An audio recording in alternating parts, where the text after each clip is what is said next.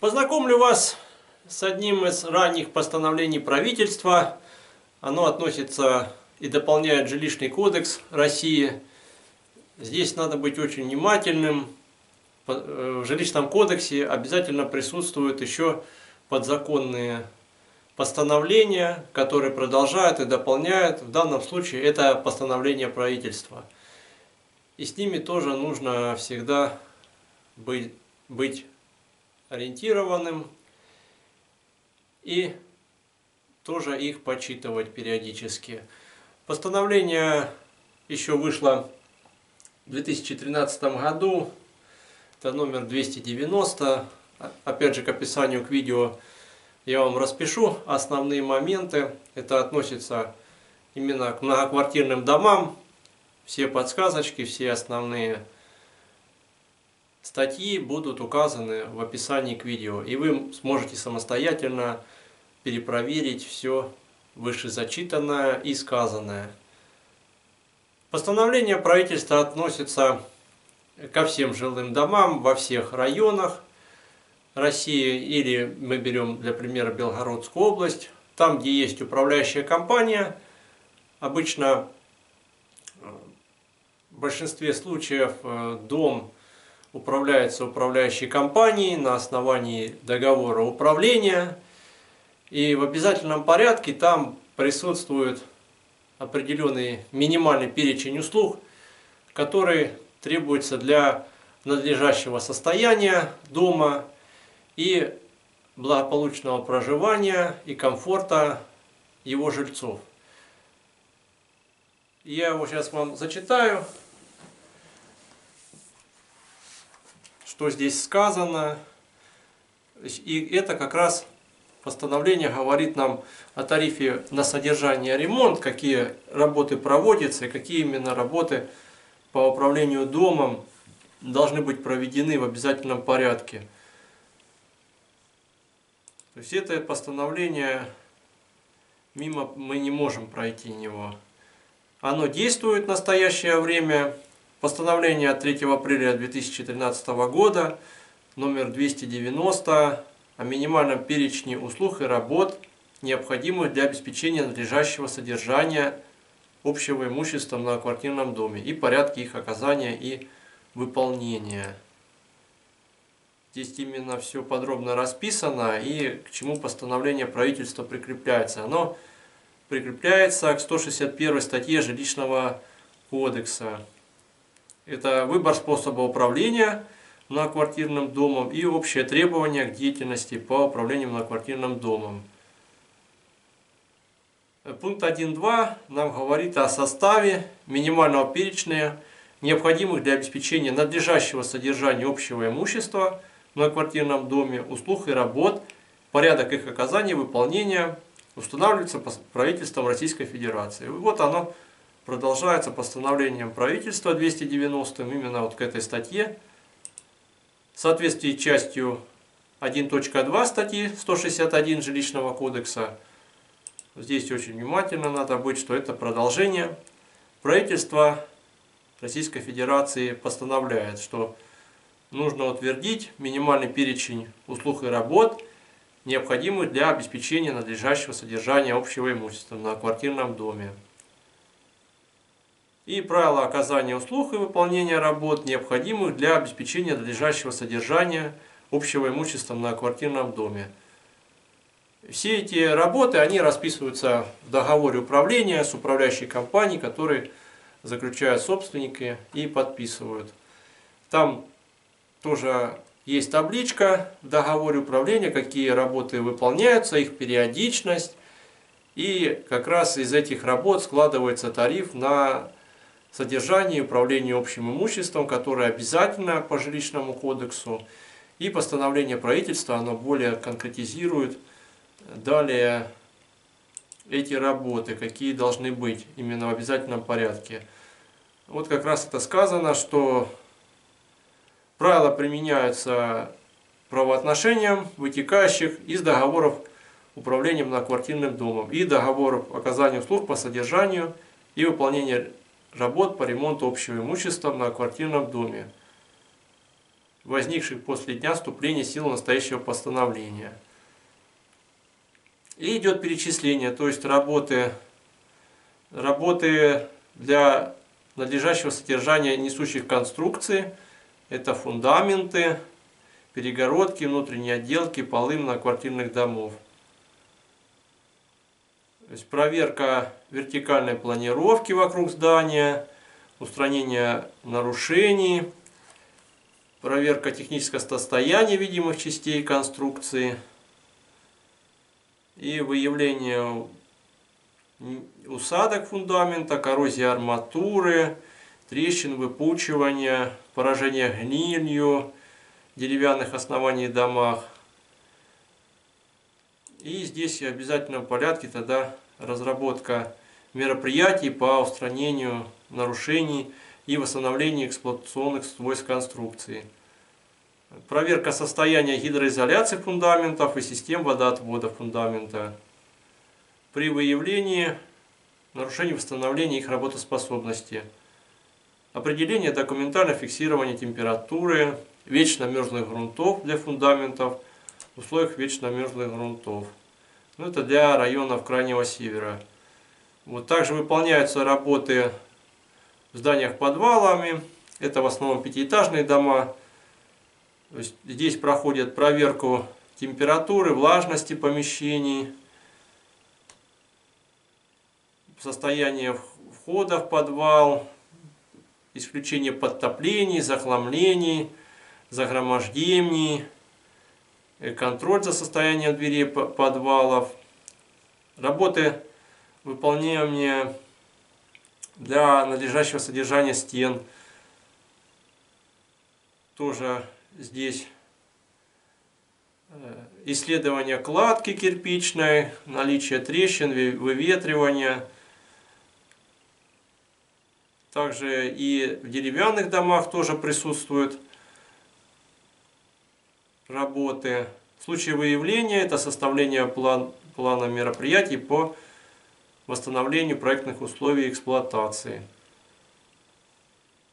Работы для перекрытий покрытий на квартирных домов – То есть здесь это с перекрытиями выполняется состояние утеплителя, гидроизоляции, звукоизоляции. И опять же при разрушениях происходят восстановительные работы. Также работы выполняются для колонны столбов на квартирных домов, но это вот современные дома – высотки, там есть такие архитектурные решения, например, в Белгороде много их, по улице Богдана Хмельницкого встречались, то есть там целые несущие колонны присутствуют.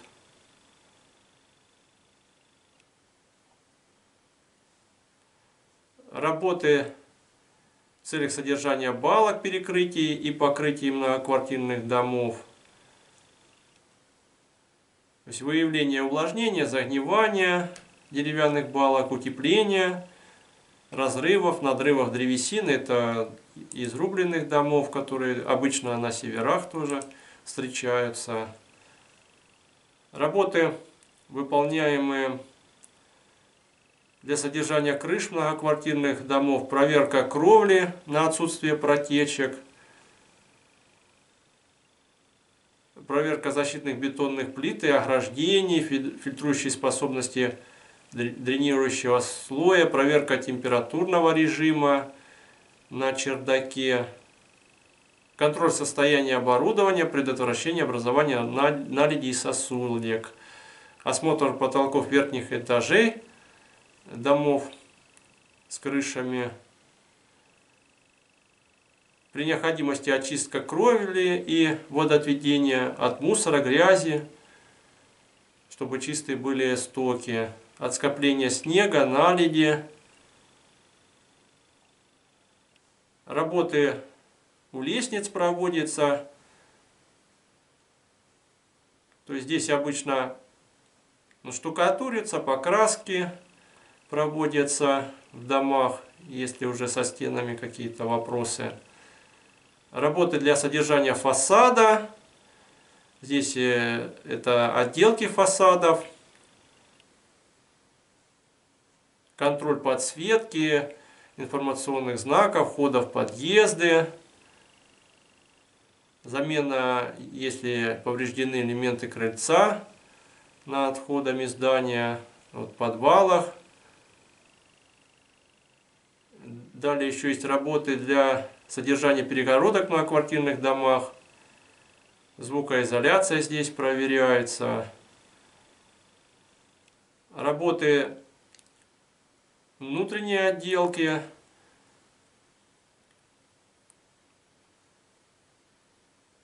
Работы по содержанию полов, относящихся к общему имуществу. Это основание, поверхностный слой и система вентиляции для деревянных полов.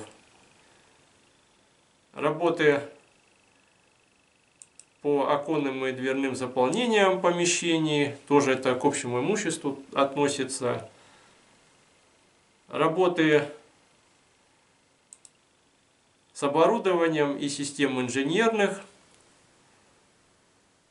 Это вот второй раздел. То есть в многоэтажках, обычно от 9 этажей, там находятся мусоропроводы. Здесь тоже выполняются работы. Это работоспособность элементов мусоропроводов, засоры, устранение, чистки, дезинфекция.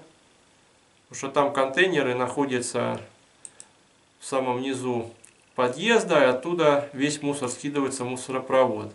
В пятиэтажках есть специальные места для накопления мусора, где приезжает машина, уже с контейнеров вывозит. Работы по содержанию системы вентиляции, это техническое обслуживание и сезонное управление оборудованием систем вентиляции, проверка утепления чердаков, плотности закрытия,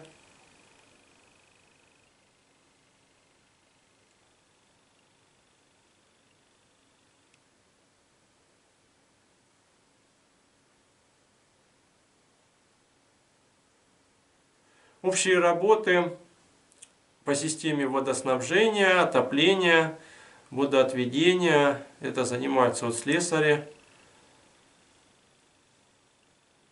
Постоянный контроль параметров теплоносителя и воды. И если что-то происходит, то обязательно незамедлительное восстановление системы отопления, водоснабжения, контроль и замена неисправных приборов учета, восстановление работоспособности оборудования, отопительных приборов, тоже к общему имуществу относится отопление. Именно в многоквартирных домах на данный момент отопление подается по стойкам и в основном находятся все котельные в подвалах. Промывка водопровода после выполнения ремонтно-восстановительных работ.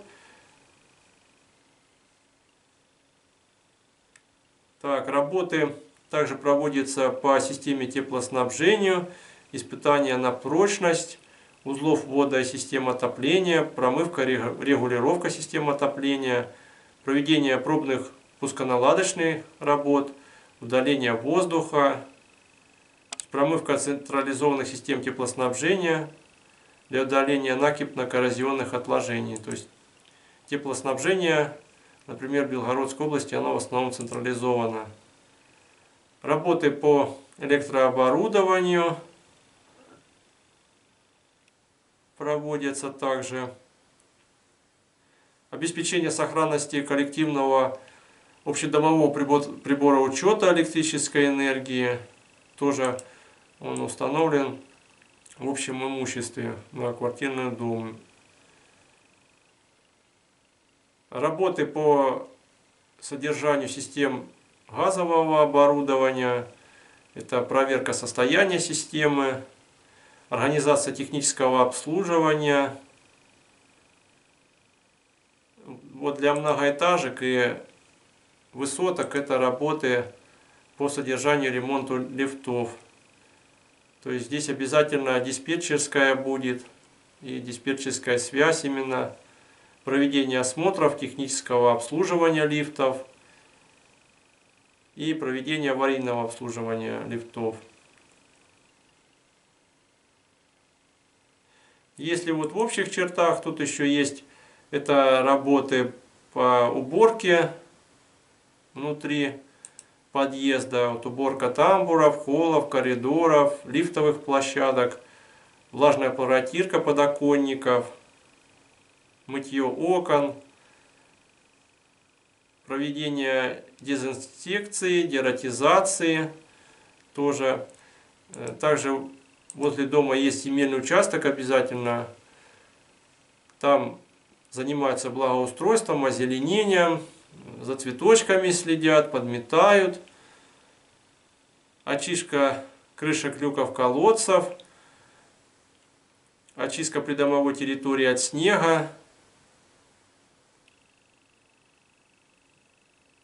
Очистка от мусора урн, установленных возле подъездов, их промывка, уборка крыльца и площадки перед входом подъезд.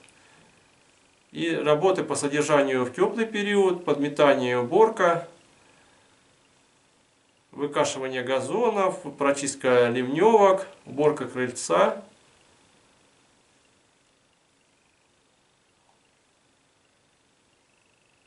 Работы по организации накопления твердых коммунальных отходов –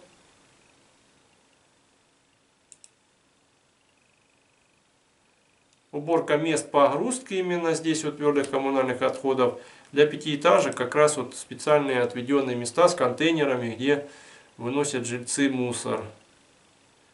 Организация накопления отходов, передача в организации, имеющей лицензии на осуществление деятельности по сбору, транспортированию, обработке, утилизации, обезвреживанию, размещению отходов.